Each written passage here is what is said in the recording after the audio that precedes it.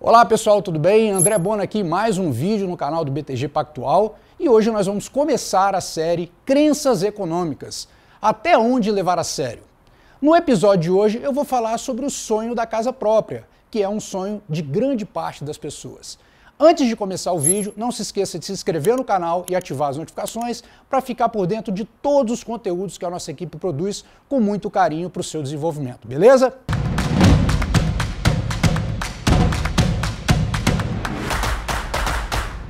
Então vamos lá.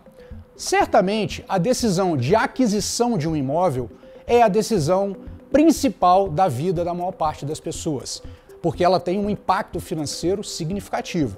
É natural que esse assunto também você encontre ele na internet, em matérias de jornal, televisão e tudo, trazendo prós e contras dessas duas possibilidades, que seria a possibilidade de aquisição ou a possibilidade de viver de aluguel. Por ser essa decisão tão importante, ela não deve ser tomada é, no impulso, porque uma decisão dessa vai ter um impacto na sua vida e pode ser durante toda a vida, durante 30 anos ou mais, talvez.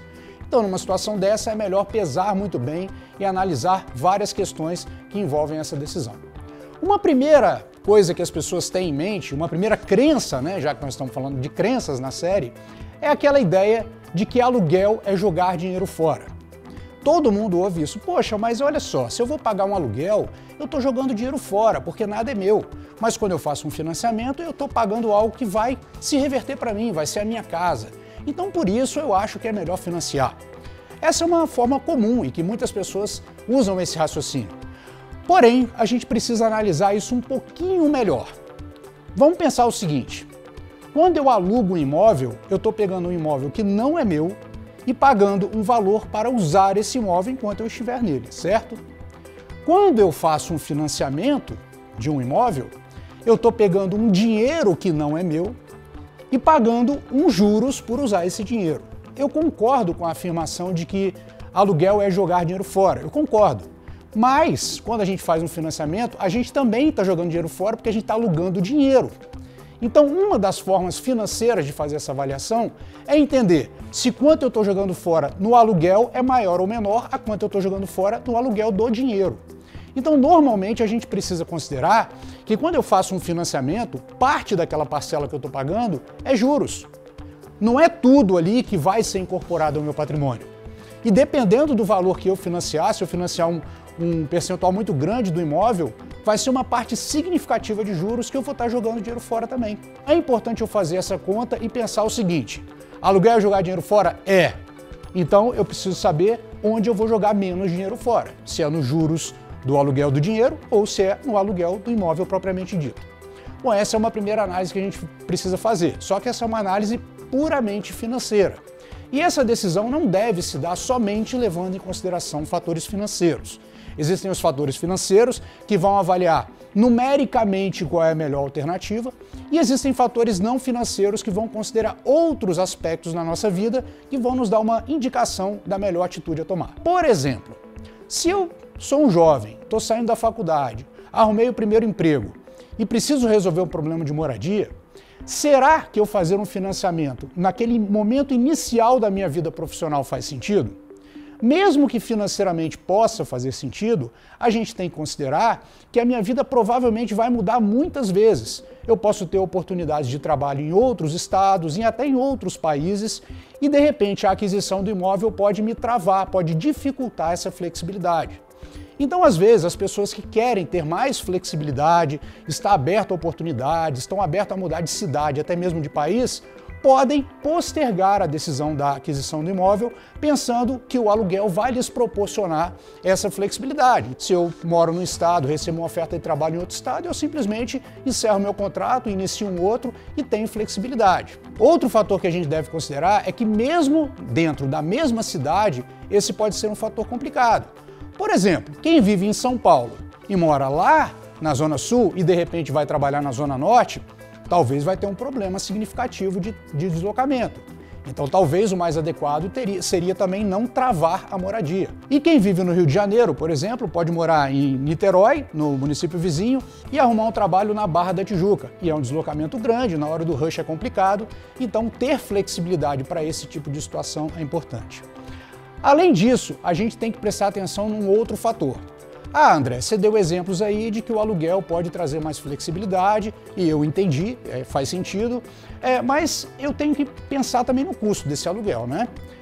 Aí o que, que acontece que muitas pessoas é, cometem um equívoco financeiro em nome dessa flexibilidade. Às vezes a pessoa faz uma estimativa de um financiamento imobiliário e tem um determinado valor ali que ele vai pagar. E aí ela usa essa referência para alugar um imóvel de mesmo valor do que seria o financiamento. Então repara que nesse caso, a comparação financeira não está acontecendo corretamente, porque são dois imóveis de valores diferentes, de diferentes padrões. A conta financeira a ser feita nesse caso, para avaliar o custo, é que você tenha imóveis similares e aí você faça a comparação entre financiamento e aluguel para identificar a diferença entre eles. Porque senão você eleva o seu custo de vida no aluguel e aí você está fazendo uma comparação que é indevida com a sua realidade financeira. Então sempre a gente considera fatores financeiros relacionados a custo de juros e o aluguel e a flexibilidade, que é a mobilidade que você quer ter. Agora tem um outro fator também muito importante, que é quando eu vou adquirir um imóvel. Essa é uma pergunta importante também. A gente falou primeiro da flexibilidade no sentido da mobilidade que a gente quer ter, mas a gente tem que pensar também quando que é o mais adequado. Se no começo da minha vida profissional eu posso ter mais necessidades de mudar, de estar aberto a, a, mais oportunidades, pode ser que com o passar do tempo eu já me sinta um pouco mais estável numa cidade que eu moro, que eu gosto de viver ali, que eu constitua família, de repente ali eu vou querer me estabelecer. E aí numa situação dessa pode fazer mais sentido né, já que eu não vou precisar mais de tanta flexibilidade, eu fixar raízes naquele local. A necessidade de compra não precisa ser necessariamente na primeira necessidade que eu tiver. Eu posso deixar o tempo passar e isso, inclusive, vai favorecer o meu processo de economizar com juros. Por quê? Porque se ao invés de comprar um imóvel com 20, 25 anos, um financiamento ou 30, eu opte por fazer isso com 45, 50, 55, pode ser que eu já tenha tempo suficiente para acumular algum recurso e usar esse recurso como entrada no financiamento ou até mesmo fazer a aquisição à vista. Então, o grande lance da aquisição é, ela não deve ser feita por meio de uma decisão por impulso. A gente deve analisar os fatores financeiros, sim, mas também analisar os fatores não financeiros relacionados a essa decisão.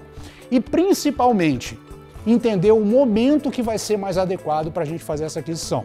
Se eu cuidar desses fatores todos com atenção, então pode ser que o meu custo, mesmo que seja com financiamento, seja muito mais baixo, porque eu vou ter tempo para acumular e dar uma entrada muito mais significativa do valor do meu imóvel. Então, o que, que você acha sobre isso? Eu não tenho como a gente dizer para cada um qual é a solução que você vai encontrar. Isso vai depender da sua necessidade, daquilo que você quer para a sua, sua vida, para o seu estilo de vida e essa mensuração de custo-benefício que precisa ser avaliada para cada um. O que, que você acha? Coloca aqui nos comentários, beleza? Então era isso que eu queria falar hoje. Um grande abraço e até o próximo vídeo.